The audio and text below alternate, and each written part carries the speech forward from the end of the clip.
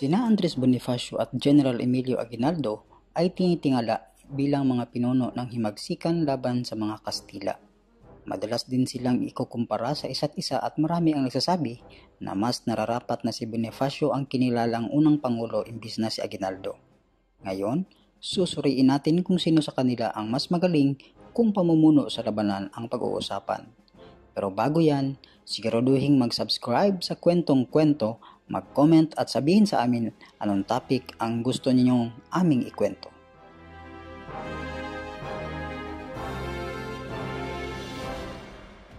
Matapos ang tinaguriang sigaw sa Pugadlawin noong August 26, 1896 na hudyat ng revolusyon laban sa Espanya, iniutos ni Andres Bonifacio ang isang malawakang pag-aklas upang patalsikin ang mga Kastila sa buong bansa. Ito'y nangyari apat na taon mula nang itatag ni Bonifacio ang kataas-taasang kagalang-galangang katipunan ng mga anak ng bayan o katipunan nang bumagsak ang kilusang propaganda ni Dr. Jose Rizal at ipatapon ng mga Espanyol ang huli sa dapitan sa Mindanao.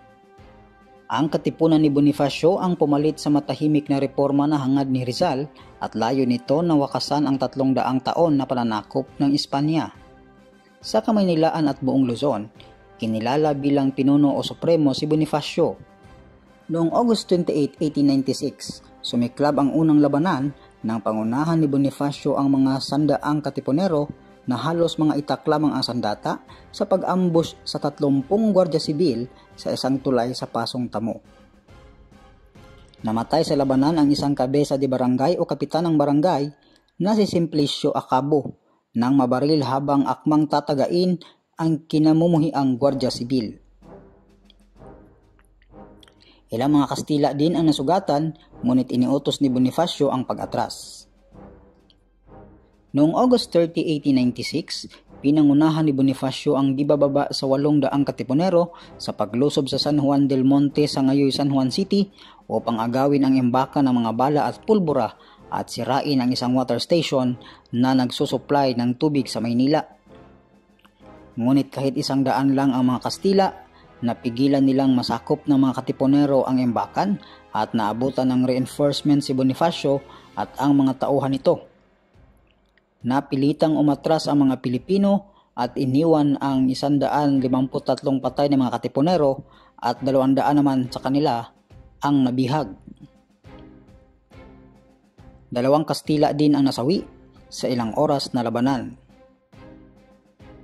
Huling malaking gera na pinangunahan ni Bonifacio laban sa mga Kastila ay naganap noong November 10, 1896 nang muntik siyang mamatay dahil sa tama ng bala sa lieg sa labanan sa San Mateo Rizal.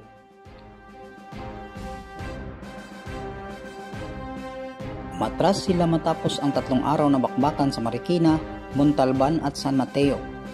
Kahit sila'y paatras, nanaig ang pagiging leader ni Bonifacio nang sinalag ang bala mula sa isang Kastila na sana'y tatama sa kanyang chief of staff na si Emilio Jacinto. Habang sunod-sunod na pagtatalo ang dinanas ni Bonifacio, kabaligtaran naman ang kapalaran ni Emilio Aguinaldo ang leader ng revolusyon sa Cavite.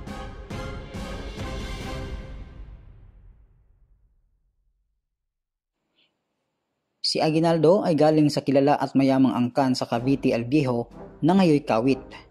Naging gobernador Silio siya o mayor sa edad na 25. Noong 1895, si Aguinaldo ay sumapi sa Katipunan nang ma-recruit siya ng kanyang pinsan na si Santiago Alvarez. O narito, nagpabinyag din siya bilang Freemason. Nang sumiklab ang mga unang labanan sa Maynila sa sumunod na taon, sabay na nag-aklas ang mga taga Cavite sa ilalim ni Aguinaldo. Kung si Bonifacio ay napilitang makipaglaban gamit ang guerrilla tactics, si Aguinaldo naman ay namuno sa planado at malakihang mga labanan. O narito ay ang pagkubkob sa munisipyo at kumbento ng Kawit noong August 31, 1896 kung saan itinaboy ni Aguinaldo at ang kanyang apat na laang mag-iitak na katipunero ang isang detachment ng Guardia Sibil nang walang ni isamang putok. Sa unang tatlong araw ng September 1896, pinangunahan ni Aguinaldo ang 12,000 rebelde nang salakayin ang syudad ng Imos. Halos maubos sa labanan ang 3,000 sundalong Kastila at kasamang namatay ang kanilang commanding officer na si General Ernesto de Aguirre. Sa labanang ito nakuha ni General Aguinaldo ang kanyang iconic military saber o espada na pagmamayari ng napaslang na si de Aguirre. Ang labanan sa Imus ang unang pinakamalaking panalo ng mga Pilipino laban sa mga Kastila. Sa kanyang analisis, Nakita ng historian at novelist na si Nick Joaquin ang kahalagahan ng panalo ni Aguinaldo sa Imos sa kabuuang pakikibaka laban sa Espanya.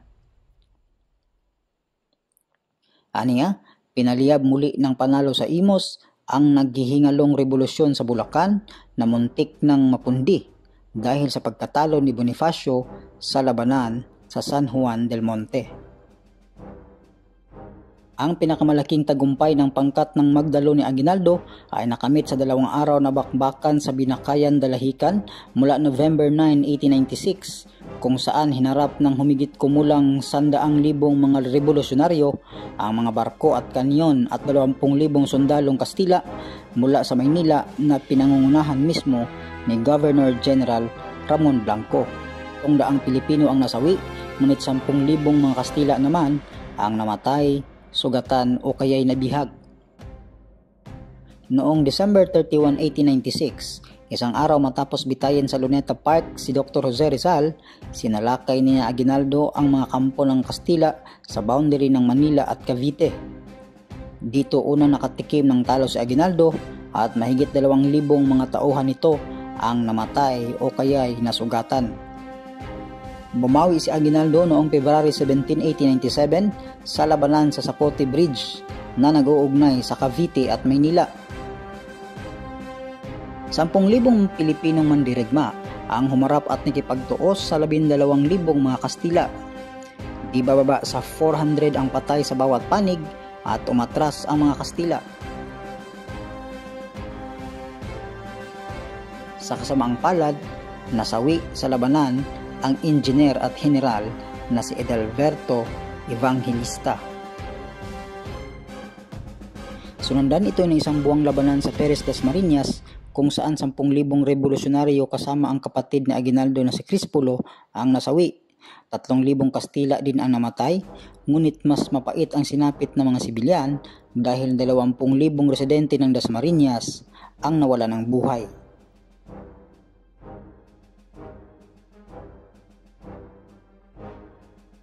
Noong September 5 hanggang September 7, 1897, nilusob ng 30,000 revolusyonaryo sa pangungunan ni Aguinaldo ang garizon ng mga Kastila sa Aliaga Nueva Ecija. Matagumpay na nagapi at naitaboy ng mga Pilipino ang rumisponding 8,000 mga sundalong Espanyol at marami sa mga kalaban ang namatay o kaya'y nasugatan. Sa panig ni Aguinaldo, walo sa kanyang mga tauhan ang nagbuwis ng buhay ito ay isa sa pinakamatagumpay na labanan para sa mga revolusyonaryo sa ilalim ni Aguinaldo. Sa kanyang huling laban sa mga Kastila, nagapi pa rin ni Aguinaldo ang mga dayuhan noong May 28, 1898 sa Alapan, Imus, Cavite. Naging mapait para kay Bonifacio ang pagtatapos ng hidwaan nila ni Aguinaldo. Dahil sa politika, inggit at intriga, Nagkasalpukan ang dalawang lider na humantong sa pagpatay kay Bonifacio at sa dalawa niyang kapatid noong May 10, 1897 sa utos ng El Presidente.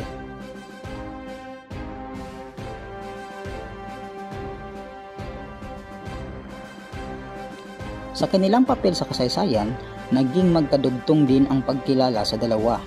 Halimbawa dito ay ang depiksyon sa kanila sa ating limang pisong salapi Mula 1967 hanggang 1985, si Bonifacio ang tao sa papel na 5 pesos.